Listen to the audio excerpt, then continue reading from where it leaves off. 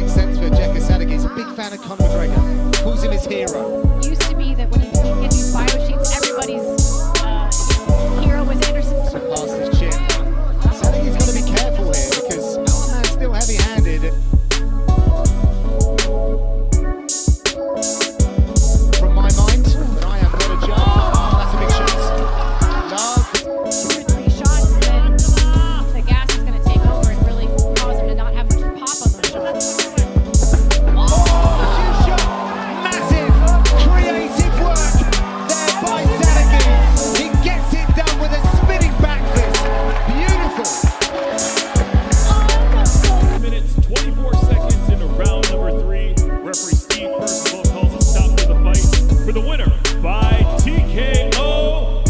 come.